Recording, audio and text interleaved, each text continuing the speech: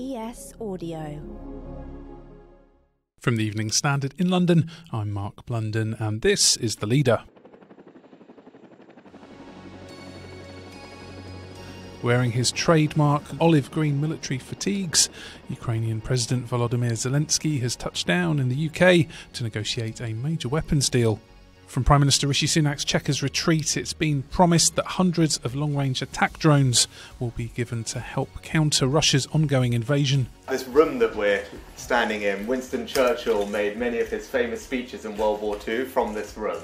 And in the same way today, your leadership your country's bravery and fortitude are an inspiration to us all. I look forward to us discussing what more we can do to support you and your country. We'll discuss very important issues, urgent uh, support for Ukraine and security for, I think not only for Ukraine, it's important for all of Europe. So thank you. Thank you that you hosted me and invited me. Britain last year provided over £2 billion worth of military support to Ukraine. That's more than any other country apart from America, and has also trained 15,000 Ukrainian troops here. But the agreement to send long range Storm Shadow precision missiles sparked the Kremlin to threaten military retaliation. Now, the government's confirmed provision of hundreds of air defence missiles and unmanned aerial vehicles with a range of nearly 125 miles. Plus, there's a fighter jet pilot training agreement, but Zelensky wants the jets themselves. We're joined from the capital, Kiev, by Denys Ganzha, a member of the President's Youth Affairs Council. So, Denys, what's the context of the UK visit? As you have followed the news, during the recent week, President Zelensky has visited different countries, including uh, Germany, including uh, uh, France, and now he's in the United Kingdom. And they think that this is, you know, this is the thing which we are using because the counteroffensive is coming for sure. President Zelensky has stated this. And the help which all the partners, including the United Kingdom, is providing us is vital to be ready for the counteroffensive. And I think that probably, most probably, of course, we don't know what happens behind behind the closed doors, but uh, they're discussing some very important things prior to the big events to come. What are the key weapons we're talking about here? Last week, uh, Great Britain has announced that uh, you have given us the very good missiles, Storm Shadows, and you can already see them working because there are lots of uh, Russian military targets being hit, especially in Luhansk region. And uh, Ukraine has been stating this for a very long time that we need another game changer. If you follow the events of the last summer, when the United States provided us with HIMARS missile systems, that has changed the game a lot because Russians uh, now after that they uh, they had the need to change their logistics so that the HIMARS rockets can't reach them. And right now, as you're providing us with this Storm Shadow rockets, with the new drones, it will make a new change of the logistics, which means that Russians will actually need to bring their military operations centers inside Russia which will make it easier for Ukrainian army to liberate these territories. How do you think the recent Pentagon leaks have impacted strategy? For a year of the full-scale war with Russia, there was no big leakage of anything from inside the Ukraine. It was only when Russia occupied some city they got some data from it, like when they have taken some intelligence unit building in Kherson, for instance. And of course, having the big package of document, we don't even know the actual size. I've heard, first of all, it was something of 40 documents. Now it's more than 300 documents. And of course, any plans from that being released is not a good news for the country which is in the state of war. I wrote today that uh, Prigozhin, who is the head of Wagner, from these documents, this information has come in, uh, that uh, he was actually contacting Ukraine's army to negotiate something. And that's interesting. And that's changing the plans for everyone. And uh, there were some interesting information about the possible ways where the Ukraine's counteroffensive can start.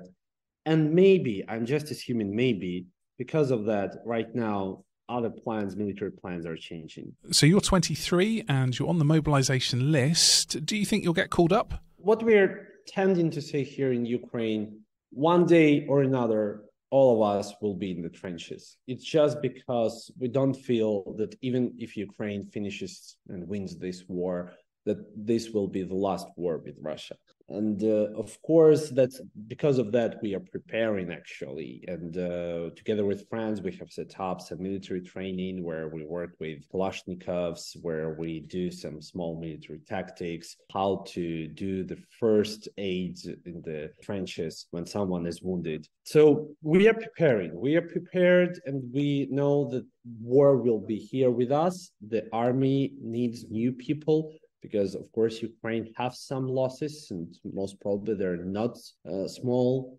You know, this is just your duty. You need to protect your country one day but as of now, we are mostly focused on other issues, but when needed, we are ready. So, how does that work? The one problem which Ukraine had even prior to the full scale invasion that we don't have this so called professional army because we had this mobilization that, that uh, any person from 21 to 27 should have served in the army. So, it's not like contract army when the person comes inside the contract. And uh, on the February 24th, when the martial law was imposed, the full mobilization was announced. And this means that army can actually, if there is the need of the person of your profile to invite you to join the army, to recruit you. Of course, we have lots of volunteers, and because of that, the army was not, it was not like in Russia, you know, that people were being caught on the streets. But at the same time, uh, the Ukrainian army is capable of inviting you to the recruiting center and to see if your skills are needed inside the army.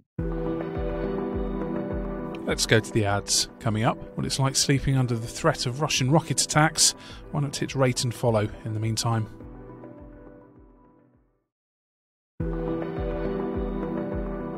Welcome back.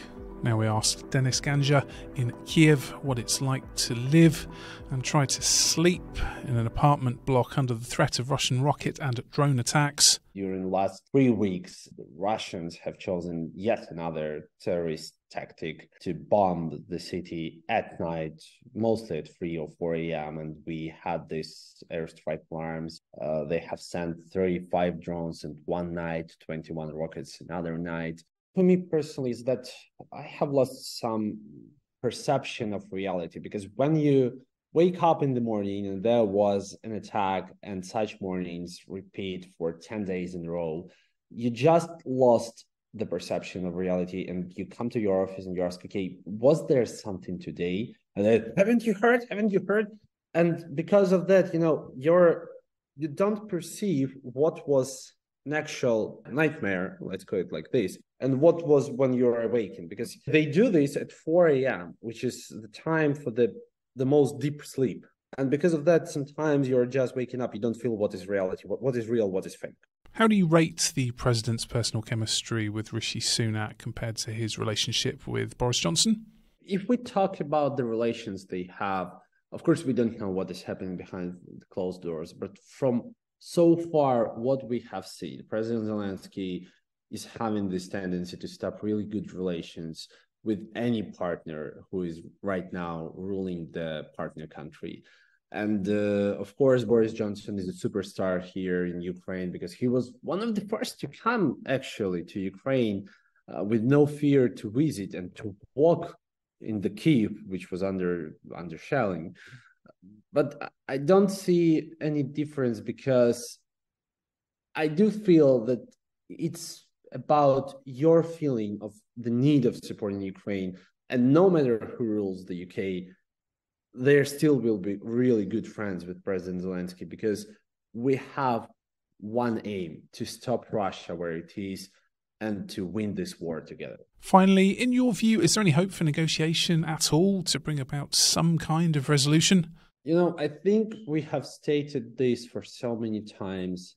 We will only negotiate something when there is not there, there is no Russian soldiers on our territories. And by this, we mean Crimea, we mean Luhansk, Donetsk, Kharkiv, and Zaporizhia regions, all of them.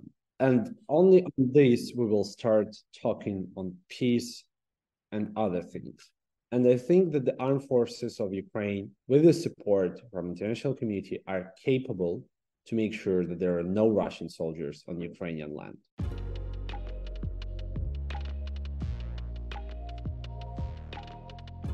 There's more on this story in the Evening Standard newspaper and online at standard.co.uk. That's the leader. We're back on Tuesday at 4 pm.